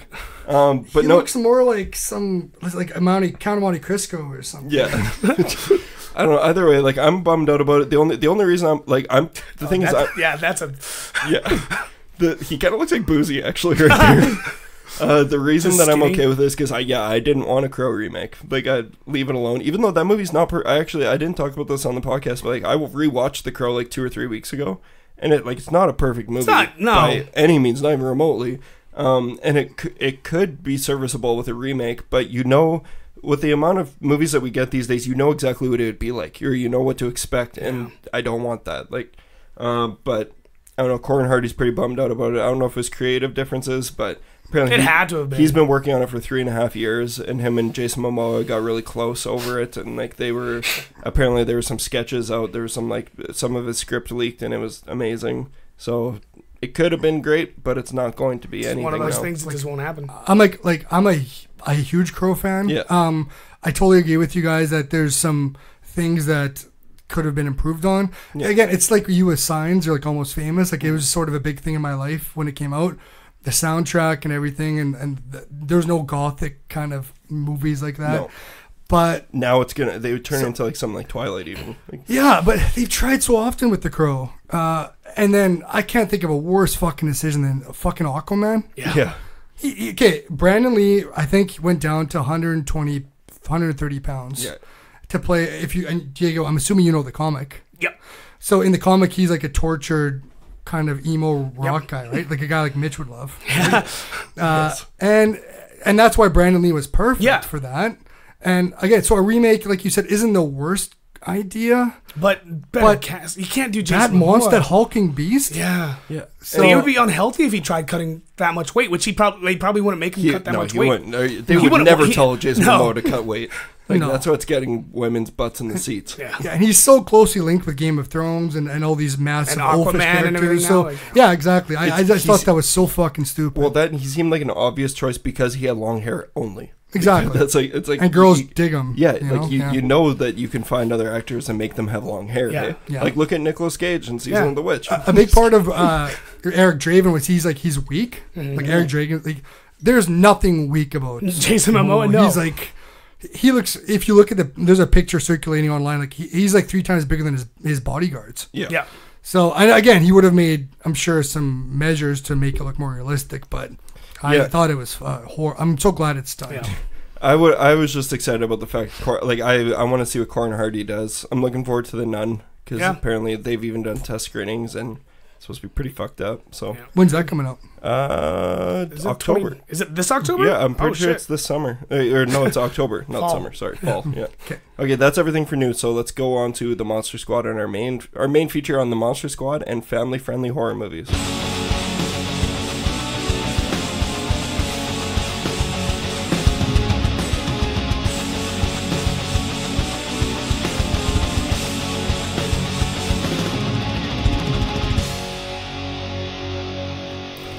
Welcome to our main feature presentation on The Monster Squad, which came out in 1987 and was directed by Fred Dekker and written by Shane Black and Fred Dekker. Um, for those of you who don't know, Fred Dekker is behind uh, movies such as The Monster Squad, Night of the Creeps, Yeah. RoboCop 3, and uh, Shane Black is the like he he's done he was in the original Predator movie. He played Hawkins, um, but he also wrote like he started his writing off with Lethal Weapon, The Monster Squad, uh, Last Boy Scout, Last Action Hero, um, Kiss Kiss Bang Bang, which is when he started directing as well. And then he directed and wrote the screenplay for Iron Man 3 Nice guys. and The Nice Guys, most recently, yeah. And, uh, And he's- isn't he doing pr- the new Predator? He's doing the movie The Predator. He's wri- writing and directing it. Um, and yeah, so like that's two heavy hitters right there as far as the things that we like go. and uh, yeah, so I don't know the. oh, sorry, just one second. The Monster Squad Squad up. is uh, the IMDb synopsis is a young group of monster fanatics attempt to save their hometown from Count Dracula and his monsters. So, with all that being said, we should just quickly get off right off the bat and talk about what we think of this movie because obviously this is a beloved favorite for Diego and I. We've talked about multiple times, and I know uh, what swayed me into convincing Jeff to do this for an episode was that he watched it recently. And uh, yeah, do you guys all watch it recently? I watched it this afternoon again. So Thoughts? I love it still. It's it's it's you know it, it's it was in our I don't remember if it was the first year or if it was this past year, but it was in like I think it was one of my picks for the top ten movies. you for did Halloween. it for both years. Oh, okay. Did I? Yeah. Oh, Hey. well, yeah. I, I watch it every year. It's for Halloween. It's just one of those movies that I've always loved, as like since I was younger, because it's it, it's it'll it'll lead into our discussion, but it's a good gateway movie. I think. Um, you know, you're when you're a kid and you love monsters and stuff. You, all, all you want to do is like fight monsters and learn about monsters and, and experience monsters, and that's exactly what happens in this movie. So you kind of live vicariously through them. It hasn't aged as well as I remember. Um, due to some non PC things that wouldn't fly. Okay, that's what you mean. And then yes, Yeah. because I was gonna be like, I think the effects. Yeah, no, no, the, great. the, the effects are still the effects are the still kid, good. the kid, yeah, like Yeah, uh, yeah. I meant, I meant like, yeah, some of the some of the content wouldn't wouldn't fly today. Um, but no, overall, I still love this movie. Yeah. Okay, so like like we said previously, like it'd be boring for you to just listen to us try and dissect the Monster Squad for the next half hour. Uh, so we're gonna spread the conversation about uh, gateway horror movies and family friendly movies. But Jeff, what made you want to rewatch this one recently? You know what? It wasn't a rewatch. It was a first watch. Oh shit! Yeah. Okay, well here we go then. Yeah, yeah. Um, a friend came over uh, to have beers a couple weeks ago, and he brought up Monster Squad, and I was, like, oh, I've never heard of it, and he lost his mind that I hadn't seen it. Yeah. So I added that to my list uh, when I was laid up, and uh, that's I actually double. I did. I watched that right after Showdown Little Tokyo. Okay. Yeah. So that's it was the first time I saw it. Yeah, two politically incorrect movies. But so what did you think about it then? really enjoyable. Yeah. Yeah, there was. It was really airtight. Yeah. Uh, I think it's 82 minutes. It's super Oh, short. it's short. Yeah. Yeah. Um, uh, are we? Am I? Do you want me just to give my opinion? Do you want me to go into a little bit? Let's or- hear your Yeah. opinion. Yeah. Well, uh, I- I really enjoyed it. Uh, I liked how uh, Shane Black, obviously, he, he dug a few things, like of the of uh, like the lore. So he dug the lore and he dug the cheesiness, but he also took it seriously. Like he respected it. So it could have been sort of like him. Uh, kind of just riffing on like the lore and like how goofy a lot of it is because a lot of it is goofy with Dracula Yeah. and the Mummy, but he had a love for he had a love for it, but he also had a love. He knows it's cheesy, Yeah. so there was both sides were equally represented. Uh, It kind of reminded me of like Shaun. Like you can't really spoof something effectively unless you love it, Yeah, totally. right? So like Yeah. Shaun of the Dead was like it's an awesome movie because they love zombie Yeah. movies. They did their research. Yes, and and they, there's a, obviously I think they all love A the genre, love right? for it. And- Yeah. and that's what I felt when I was watching Monster Squad. Um, and I I was worried it would be just kind of uh, a hodgepodge of the the classic monsters and throwing them at you and letting you just sort of. Um, hopefully that you you have an appreciation for them, but Yeah. he, he has a big appreciation for Totally. sorry, sorry appreciation for them too. Yeah, and I think the thing because I yes, I love this movie. I I love it. I've, I've seen it. This had to have been the thirtieth, fortieth, like I'm in between thirty and forty. Like I grew up with this movie. I loved it. Um, I do state it as probably one of my gateway movies that got me into this movie, eric got me into this type of stuff. Because I had obviously seen this before I saw all the classic Universal monster Yeah. movies, and uh, this was the movie that made me want to go back and watch them. And even at, at a young age, those movies are very, very dry. Like Yeah. they're they're hard to watch when you're that young. I have a very fond appreciation of them now. Like I, I love them. Um, minus like I know you you would post on Facebook stuff about the the mummy, like you're asking the mummy, because the mummy, in my opinion, is definitely one of the flawed aspects of the Universal monsters. Like that movie is fucking boring as hell. If you've ever watched like the the old Universal monster Boris movies, Karloff one, I think. yeah, it's not it's not very good. And um, but the thing is, like Dracula's, I still love Dracula, Bela Lugosi, and I love um the Frank like Frankenstein, Bride of Frankenstein. Sorry, I, I've, I actually haven't seen Creature from Black Lagoon.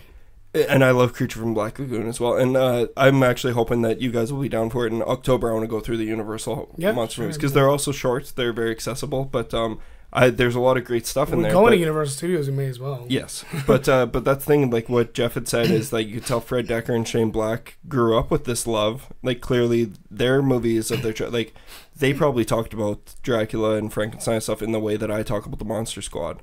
Um, so it's just passing the horror love through generations. Um, and the other thing that made this movie so effective is the special effects, and you can tell that they really cared about Yeah. it. And this was in the prime of like actually going all out for special effects in horror movies. And it's important to note that um, the special effects artists for this, like they were designed by Stan Winston, um, who's behind Jurassic He's Park. a legend. Yeah, Jurassic Park, Predator, Terminator, Lake Placid, Aliens, and then um, Tom Woodruff Jr., who's uh, from what I believe or what I've read is that he kind of became uh, Stan Winston's like right hand man. Like he helped him out a lot and everything, and he he ended up doing makeups for Starship Troopers, Death Becomes Her, and most recently Annabelle Creation. Nice. Uh, Bright. He did the orcs in Bright, which is a piece of shit movie. but uh, Paul Blart Mall Cop Two. What? Paul Blart Mall Cop 2 he was credited for. Oh. It's just sad. Like it's sad yeah, that like, this guy's so out so promising, and then Yeah, well no, but the thing is that like he's just getting work. Like there's you I don't guess he's see- getting paid, but those are two No, but truly Dude, awful. you do shows. not see that shit anymore though. Like the, no one does practical special effects anymore and it's it's a And so the Paul Blart needed practical Yeah. effects. Well, it's the same thing with how Ri- well Rick Rick Baker sold like he he shut down his studio and he sold all of his stuff because after he had been hired for Maleficent, he's like I could have done all those special effects in my garage. Like Mm-hmm. you don't need because it's all CGI and stuff like these. Like the people don't pay for it anymore. People don't like it. Is Tom Savini still getting work?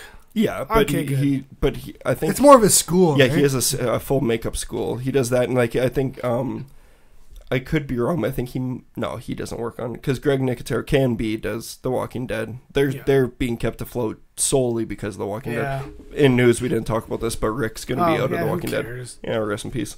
And um, but yeah, like he also did. Uh, but Tom Woodruff Jr. worked on Predator and Pumpkinhead. Like Oh, well, some fuck yeah. Some of the best special effects ever. yeah, but the what I love about this movie, um, before we go on to our general conversation about family-friendly movies and just gateway movies, is that I, while it is incredibly politically incorrect, I think it's kids being kids. Kids, Yeah, kids were politically incorrect. And they I- still are. Like, Like that's what I, I, I totally got these kids when I was little. Like when they were talking the way they were, I was like, that's how everybody talks. Like, like you, there's so many times where you see that they can't, they don't represent kids well anymore. I'm like, Yeah. that's, no kid would do that. No kid would say that. Like, I that's what I liked about this movie so much is that I felt like it was being honest to me. that's true. Um, but yeah, it, and for me, like what the a couple last things I'll say is that this was my Goonies. Like I and I still think till this day, like, I'll, I'll take some flack for this, but this is a ten times better movie than Goonies, in my opinion. I agree with you, actually. Goonies does Yeah, not me- me fucking too. age well. I at agree all. too. And like uh, I love the Goonies when I was a kid, yeah, of course, but like Goonies does not hold up on a rewatch like No. like Monster Squad does. And people who are seeing Goonies for the first time, like we, we now have Jeff who's saying like he saw Monster Squad for the first time at what eighty seven years old, and, and you loved it, no, and you liked it. 81. yeah, jeez. um, but yeah, like they they go all out with these monsters, and like the kids are awesome. The whole feel of the movie is awesome. It's perfectly paced. Um, the Mummy, the Dark Universe stole a scene from the Monster Squad, like with how they're like they're on the plane. Yeah. Oh yeah, yeah, a- yeah, yeah, yeah. And the thing is too, it's like, you know, a lot of people who who like worship the Goonies, most of them probably haven't even heard of this movie. I disagree with that. Really? Yeah. Because I- I've talked to a lot of people who, who's never who've never heard of this movie, but they they've watched the Goonies. If that, I hope you're. I hope you're right, because then they can watch this and realize Yeah. how stupid they are for thinking the Goonies is better. But that's and that's the other thing too is this movie's got probably my favorite fat kid. like uh, uh, Horace, did you hate him? Uh, the Fat Kid? Yeah. That's on my list of notes. Because, like, uh, man, like, it- Wolfman's got nards. it's it's one thing. Oh God, like I was watching this and I was okay. Like it's one thing to have a friend whose permanent nickname is Fatso, Yeah. or Fatty. Fat Or- kid. All of those are like colloquialisms. Like they're sort of like nicknames in a weird way. this is a descriptor. Horace. No, it, no, Fat Kid is a descriptor. Yeah. Yeah. He's a kid and he's fat, and that's his name. That's so savage. His name's Horace. Yeah, but they yeah, call him but they, Fat they just call him Fat Fat Kid Kid. And Yeah, and then at the end, he's finally he takes his name my back. name is Horace. Yeah, but he had to kill a fucking mutant Yeah. to take it back. I'm like, that's another level of like bullying. Like, Yeah. he- I was like, I was blown away by it. like I, He had- Fatso or oh, Chunk. Like, Chunk like to, uh, we're talking about Goonies. Yeah. Chunk. Chunk, yeah. Yeah. That's a nickname. It's a fat reference, but it's, but it's a nickname. Like, Yeah. Fat kid is just you an adjective, and it's, so rank. It's true, but Ch- but Chunk also like he he presents it to himself because he does the truffle, The truffle shuffle, shuffle. and like he shakes his belly up. Yeah, like, 'cause he wants him to buys like it. him, Yeah, he- but he fights back by like he fights fire with fire, if you oh, will. God, I've never seen a movie where like, the, what if there's a character that was like dumb man? Yeah, Hey, You dumb man. Yeah, hey, exactly. stupid guy. I've always thought about that as a kid too, like watching like how does this guy get the role as fat nerd? Yeah, like he was cast for Fat Kid. Yeah, can you imagine like All right, I you're got reading for Fat Kid. landed the role of fat nerd. in, Hey, the mom, I- I'm, I- I'm acting now. Yeah. in the IMDb, it's like his actor name Horace slash Fat Kid. Oh man, Yeah. th- no, but there's one guy on IMDb who you'd recognize if you saw him. He's the new guy. He was in all these other like uh, music videos. He's in a bunch of Simple Plan videos, but he's Oh, always fat DJ nerd. Qual. Oh, no, no, no, He's no. always fat nerd. really? He's, he's, Fat nerd. He's he's called fat nerd, and so he's got like 180 credits, and like half of them are fat nerd. Oh God, that's even somehow more harsh. Yeah, it And, is. it, and it, I agree. It's it's kind of funny and sad that he had to kill something to prove his worth. Yeah. To, to get to actually My name is Horace. Not just kill something, Yeah. kill like an otherworldly kill a creature. monster. Yeah. Uh, anyways, that's what I found funny, uh, the fat kid thing. And then, uh, may I just say, like, those are the bravest cops ever. yeah, Yeah. No, like, they're, they're seeing, uh, Dracula, like, summon the worst I things. love that scene at They're, the end. they're not only attacking, Yeah, which takes huge balls, they're going like fisticuffs. Yeah. I know. They're Like, like, running like at me- melee attack. And the, Yeah. the dad's fighting a fucking werewolf. Yes. Like hand to hand combat. Like, Like, and this cops are in, like, oh, give me, like, they're going to try to grapple Dracula. yeah. Yeah. Um, really, gotta give them credit. Those are Oh, brave totally. cops. I, I've that's totally, and that, that's one of my favorite scenes in the movie because the camera also doesn't break away. There's Yeah. just it's Dracula just walking towards the kids with the amulet, and Yeah. they're he's just taking out cops left, Yeah. right, and center.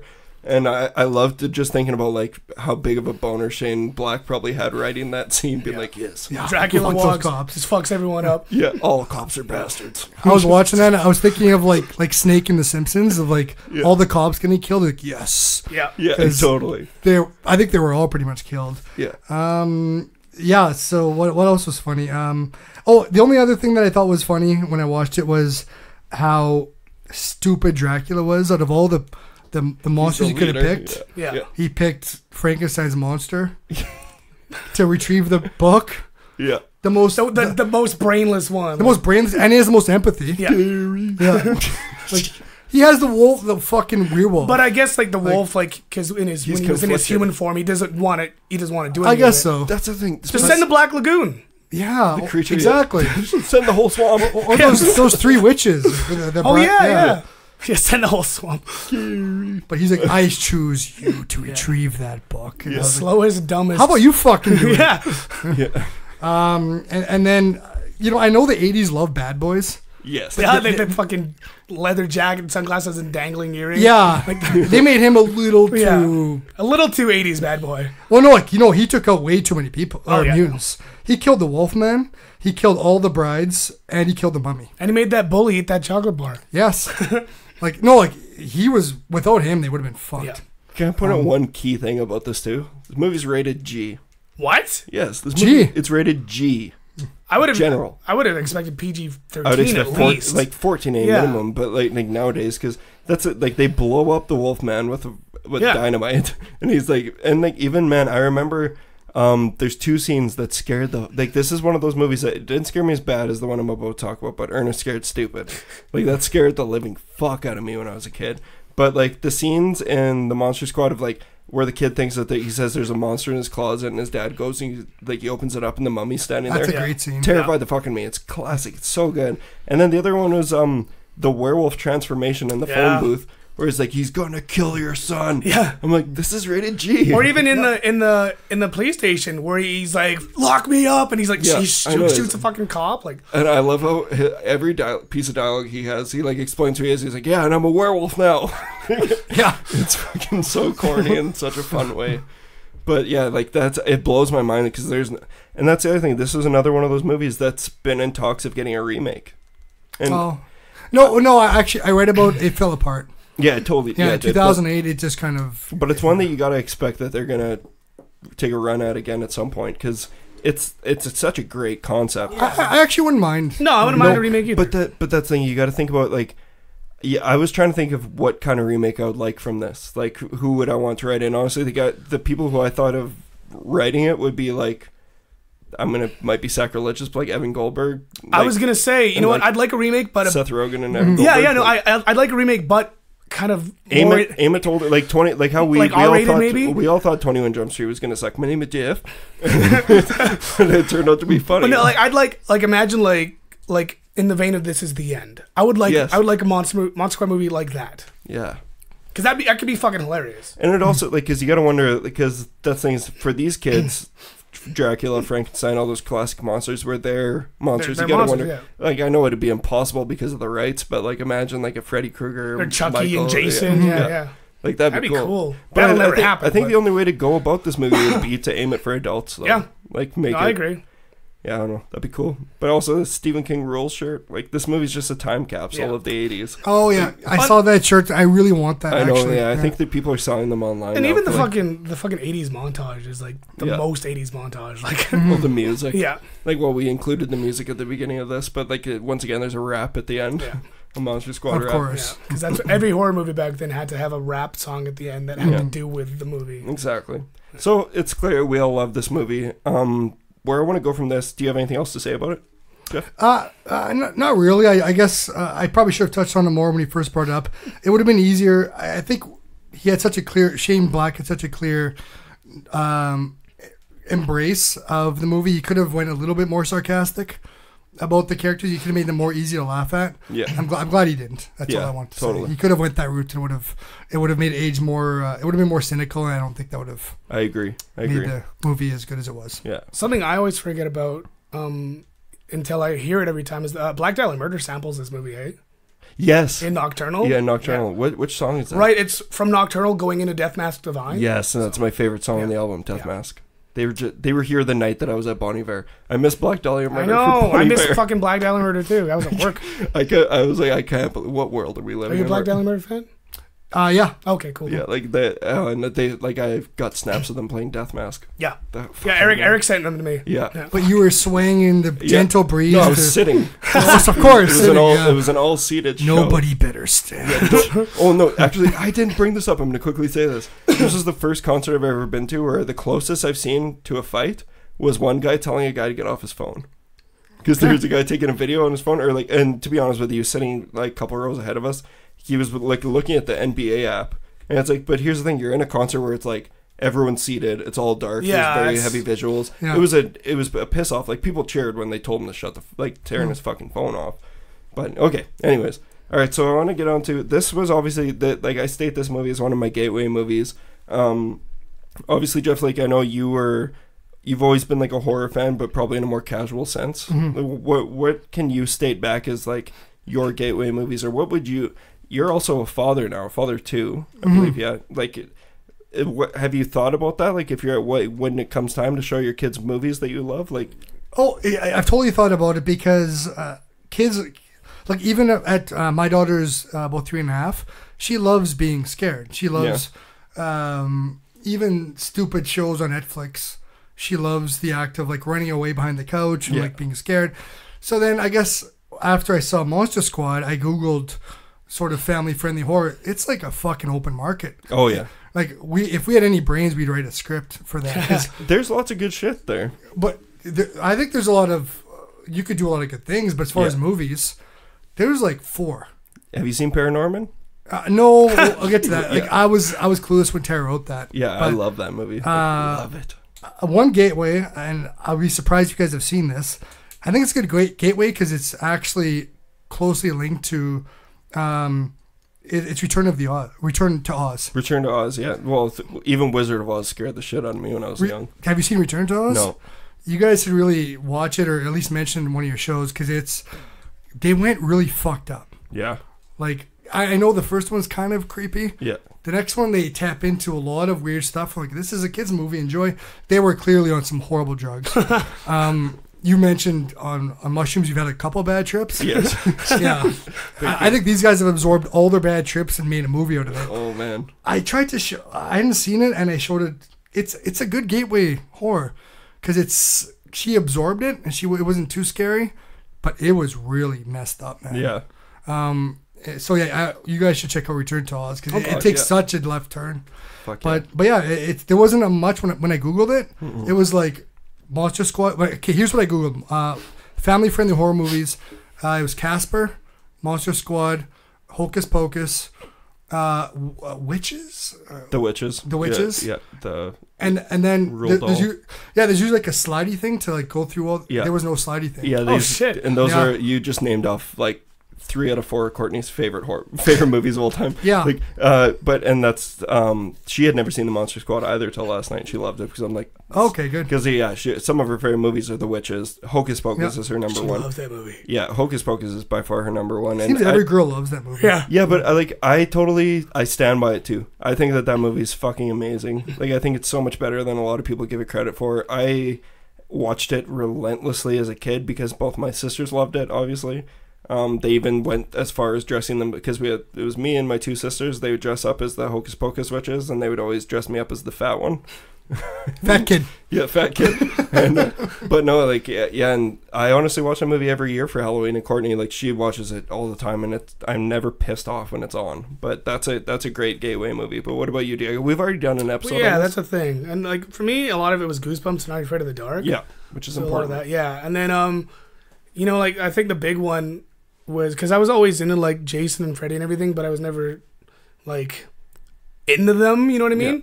And then I watched I watched Freddy vs Jason, and that's what really threw me Yeah. into the deep end of everything. And that's when I just started watching, like going out watching every horror movie I could find. And See, you cannonballed though. Like Yeah, you, yeah, you, I- totally did, yeah. into the genre. Like that's like I I uh I don't know how I came across it. Like I I can remember the first time I saw the Monster Squad is through like my mom's friend's kid yeah, had it, and it's like I would have never seen this movie if it wasn't for him. Yeah. Like, and, and I, st- I don't, I can't remember his name, but like it's just crazy how this kind of stuff just happens. yeah. Um, because it clearly played such a huge role in my life. Um, but yeah, okay, so like a couple that I want to just mention that if you haven't seen it and you're a parent and I don't have kids myself, so I can't gauge what what age I would show this um, show these movies to them at. But uh, I've shown my nieces. I was so excited though and my sister had two beautiful girls that I could one day show Monsters Inc. Because I love that movie. It's honestly probably my top ten favorite movies of all time. Uh, that one I saw when I was ten years old, and it was the perfect age. I think the reason why that one's such a great family-friendly horror movie is because it introduces the idea of monsters and how to not be afraid of them, or how they have a purpose and They their have a purpose job is, to do. yeah, their purpose isn't to hurt you; It's it's, to scare to you. yeah. And um, you you got some? I sent you something. Okay. Sorry. Uh, I thought you were pointing at the beer. Uh, yeah, and then so uh, I have that, and then I also have Goosebumps, which is like came out I think two or three years ago. Th- would have been like three years ago now. Uh, the live action version, which I thought was going to be a pile of shit with Jack Black and Dylan Minnette. Um, it's I don't know. I I think that's a great movie. I've I've loved I loved it. And I we watched it together when we lived together. Did we? Yeah, Yeah, because I've seen the movie a handful of times. I would have never guessed I would. well, have that's, it that's the first time I saw it because I went out and bought it. Yeah.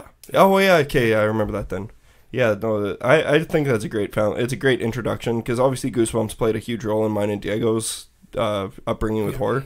Um, the movie was good enough. Um, It's a good way of putting it. Yeah, a couple last things. Monster House, which is another Oh, yeah. animated Mhm. one. That's that's a good one to show your kids, and that's not too scary. It's not too over the top. Um, my favorite one probably of them all, besides Monsters Inc., is Paranorman, which uh, my is going to mention uh, pretty soon here. Um, stop motion Laika movie, uh, made by the same people who do Kubo, Kubo and the Two Strings. Oh, yeah, yeah. Not Kuso and the I Two know. I was thinking about as soon as you said "coup," I was like, Yeah, "Kuso." and the box trolls and what was the other one that they did? It was just fucking awesome. I can't believe I'm drawing a blank on it 'cause it's probably their best one. Was it the one with the, the buttons in the eyes? Coraline. That's it. No, yeah, they, yeah, I think they did. I don't know. No, I don't know. Moving on. Uh, those are some good ones to check out. But uh, I'd like to hear what people think, what they would show their kids or how they, because I know a lot of our listeners have have kids who they are going to try and show the horror genre to. I don't know how you go about it, but I'll cross that bridge when I get there if I ever do. Um, let's end this off by sharing some stories from uh, listeners. So first, uh, Jeff, if you want to, do you have yours pulled up? Because Jeff Yeah. made this post on his Facebook and asked his friends and got some replies. Uh, yeah, my I guess main reply is from Tara, Mitch's sister, who says, "We've watched. This is a hard one to pronounce. Uh, can you take that Can you see it? P- pen? Paranorman. That's yeah, it. there you go. Paranorman. Paranorman as a family, and it was great. I would say movies like Hocus Pocus, oh, sorry, Hocus Pocus, and Coco, which I, Coco's I've- actually awesking. I haven't seen Coco yet. I love is it. that? It's a new. co- Yeah. Oh wait, wait, made by the new, new the new, yeah, the, Yeah. the- the- yeah. Yeah, I'm not sure how horror. Like, there's some. It's like Day of the Dead Yeah. stuff. Yeah, there's some other realm stuff, but I'm Dia not sure how horror is. Yeah. Uh, but uh, they use the paranormal to introduce elements of horror without going full on gore, and and that's as a parent, like I want my kid to be scared and, and like know how cool it is to be scared, but it's such a hard balance to It totally is. Yeah. to not cross over into the, the fucking I'm not gonna sleep for three days. Yeah.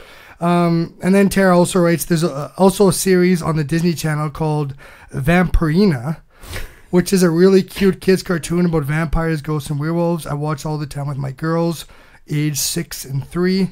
It's light and fun, the right amount of weird and spooky. I haven't heard of that one. I haven't either, but I know Bryson. Show your kids Vampirina. There you go. Yeah. And Timothy, you can't. You beautiful bastard. Can't. Um, okay, I got a few. Do you, you don't have any, right, Diego? I just, have the ones that are off stuff? the yeah. Okay. Um, Dwight Fry says back before cable was everywhere, there was there was on TV, which is a whole other discussion. Anyhow, it was either The Shining or the first Friday the Thirteenth that I snuck downstairs and watched from behind the couch. I think it was Friday, so that was his gateways into the genre. So I should show my daughter The Shining. Yeah, Yeah. sure, sure, The Shining Thanks, Dwight. or Friday the Thirteenth. yeah. um, uh, Lana says, "Lol, we all know mine was Charlie and the Chocolate Factory. I'm still truly terrified of those killer Oompa Loompas. I also loved 1989's Little Monsters, which I loved as Oh, well. Oh, is that Yeah. the one with Howie Mandel? yeah, Howie Mandel and uh, the not the Savage, Oh, Fred Savage. Fred Savage. Yeah, Yeah, yeah. I love that movie. It's basically the concept of monsters. ain't it? Yeah. Um, Just with Howie Mandel. yeah, and uh, and Final Destination Two was my first in theater horror movie experience. I was Jeez. twelve. I was haunted for days because of the highway car crash scene with the logs. I logs. was gonna say twelve is a pretty young age to. I was watching it. Well, that's but I'm also a maniac. I'm with you there. Like, yeah, I love that movie. Like the Final Destination Two is my favorite of all those ones. Is that Um, is that Rhubar? Uh, Rebar, Rebar? Is that is that final? Is that No, the that's second it. one or? Rebars, and Freddy vs. Jason, Oh, okay. where the so it's just the log in the second. Yeah. it's the Oh, logs okay. in the second one. Because I was gonna say one some horror movie has made me scared of rebar. It's probably Freddy vs. Jason because there's the one where he's throwing them He's all through throwing it Jason. Jason, yeah. Yeah. Probably. Okay, sorry. Go ahead. Yeah, and then um, uh, Bryson says, so I first remember seeing a scene from Friday the Thirteenth Part Five, which was amazing to me. I had to have been like seven or eight. Then I remember being terrified out of my mind when my parents were watching the Blair Witch Project when that first came out. But the first horror things I remember like renting for myself were the Scary Movie franchise, which I guess kind of counts. that does, I'd say. Basically, my introduction to Scream, even though it was spoofing it, and Final Destination 2. It's still my favorite of the franchise, and when me and my friend rented it, we watched it probably five times within a couple of days. So him and Lana share that, and I guess me as well. See, the thing is with spoof movies, I, those can be a good gateway because it'll make you, you laugh at it first, then make you want to go watch the actual mm-hmm. movie it's based on. So Totally. Um, and then Bryson also says, as for as far as introducing my kids, I've kind of been shitty because I would watch them in front of my one year old because I th- I knew he wouldn't remember when I. Then I kind of just kept doing it when he was three. Then I realized he was remembering it, so I've tried to be better about not watching them in front of him. Uh, but I, I remember he was intrigued from start to finish with any Japanese movie I'd watch. As one year old, he he would just he would just the he would watch the entirety of The Grudge with me, but you would you would have but you would put on a Disney movie and 5 minutes later he would go and do play or do something else. My kid is strange, but I love him. No, he's retaining horrible things. Yeah. like He's going to start bringing, "Look, dad, look what I brought home. It's a dead cat." It's a dead cat. he's gonna start trying to crab walk backwards down the stairs. But uh, yeah, and then he says, "I don't know how I'm going to approach it when I decide to start watching with them, uh, watching it with him when he is older, though. Hoping to hear some suggestions. Like for my, like I always, I'm not a dad, but like that's like I've said. I think I said on the So Be It podcast. One of the reasons why I buy all my movies is because in the event that I do spawn some kind of offspring, I'm going to be able to show them all the movies that I loved. Um, but I've I have planned with Monsters Inc. and uh, Paranorman are big ones for me. Um, and the Monster Squad, but uh, I don't know about that anymore. If I ever have a kid, God forbid, I will show them Kuso. stop, stop. Can I ask you something quickly? God, I've heard you mention this so much. Okay, in like hundred words or less, why are you so upset? Like, I've seen it too. Yeah. Why are you so obsessed with I just love how different it is, and like I just love anything Flying Lotus does. To me, I love Flying Lotus. Yeah. Like his music is amazing, but that movie is like I, I like like for what it is, it's fine. But Yeah. you have a weird obsession. I with just that I don't know what it is. It just it just does something to me. Like I just love the way it looks. I love I love the visuals. I love the music. I love the dialogue and how strange it is. Yeah, when he was three, he was watching Japanese horror. Yeah, totally. Yeah. I just This I is just what I just happens. love I love the transitions and everything. I I love how awkward the acting is. I just even even the scene where like the woman's like grinding her teeth on the cement. Oh, yeah. I, I just I lo- I just love how out there it is and how it, it it just woke something up in me and I just I love that movie. I think it was always living in you, but it's a, the, I've just said like when Courtney and I were watching Kuso, we got 20 minutes and she made me turn off. Yeah. like, this is what the inside of Diego's brain looks like. Well, that that's what I was going to ask. Could you date a girl who hated Kuso? Yeah, yeah, that's the thing because I know this movie's not for everyone, and I and I think it's and that's another part, kind of the reason why I like it so much more too. Because it, to me, it's like this is my this is my thing. Like this is something that no one will ever be like. I like that movie more than you. It's just like no, you fucking don't. I watch that movie like once a week. Like I love that movie so much. Yeah, I was meaning that. I'm glad you came on because I really want to ask you how much why you love that show. Of course, it was going to come up at some point. All right, and uh, Genevieve says family friendly. My dad showed me movies that no six year old should watch. Um, Adam says Wolfman's got nards, and then Lee Beckman says Long live Fred Dekker. So those are just not even they're not stories. I just thought I'd mention them. Uh, but yeah, so there you have it. I don't know. It's a tricky situation to go about showing kids this kind of stuff because you never know what they're going to retain. But I will say from experience that obviously my parents let me watch pretty much anything I wanted to watch besides like graphic sex scenes, which is still there's an argument to be said there that I can watch people's heads being cut off or I could watch like any horror movie and I can't You know can't watch about the greatest sexuality. act of love ever. Yeah, exactly. You can't watch sexuality. Um, or I'd have to cover my eyes when there's boobs on the screen, but it'd be okay watching some like the creeper rip someone's head off and eat its tongue out. yeah. Like, Mitch, I feel so bad. I forgot to talk about Starry Eyes. oh, I saw that. Yeah, Sorry, I'm. s- I'm. talk about it quick. It's too late. No, it's not. It's not. Uh, Okay, Did you like Starry Eyes? I'll be really quick. Loved it. I think it was so like relevant now with what we're seeing. Yeah, It was way more smart than I thought it would be. yeah, Uh, I just, it, it was awesome. Uh, I just, it was hard to watch, yeah. but once you attach it to the the relevance that Me it has, of- movement. yeah, exactly. What what women have to do to sort of be relevant, um, recognized as It's like scary. a major player. Yeah. That was such a that. Uh, I think on the, the last episode with me and Johnny on my podcast, you talked about the best horror. Uh, they have messages, yeah. and I think most of them don't, but this one had a really clear one that didn't beat you over the head with it. Yeah. Uh, anyways, I won't go into because I've waited so long. I'm sorry, Happy- but that's a great it, show. though. yeah, yeah, that's should. awesome. So, Yeah, it's fucking. That's a strange one. Yeah. But uh, yeah, no, I think not not a gateway. no, no, I wouldn't say Eyes is a gateway. Um, but I think that's a good place to wrap it up for the Sure. for the day, guys. If you if you think so. Yep. So Uh, thanks for having me. yeah, of course. Everyone check out So Be It. You guys will be back, and next week you'll have another episode Uh, coming out. Monday. Yeah, Monday you'll have another episode coming out. And uh, yeah, thanks for joining us. I'm happy you and Diego could meet each Yeah. other finally. We got to get you on our show. Yeah, and no, we I'll- can I'm talk about uh, Lil glow, glow sticks and Lil Pump. and Molly and Yeah, MDMA and all Yeah, that, and- air horns. And, no. Uh, honestly, thanks so much, guys, and you guys have a great show. Yeah, thanks, man. was fun. All right, well, uh, we'll be back next week. We'll let you know on Instagram, Facebook, and Twitter what we are going to do because we're still planning on filling one more week without Boozy. Um, hopefully, we get another listener question from Boozy, but uh, we'll be back next week. Um, till then, stay spooky, everyone. Stay spooky. Bye.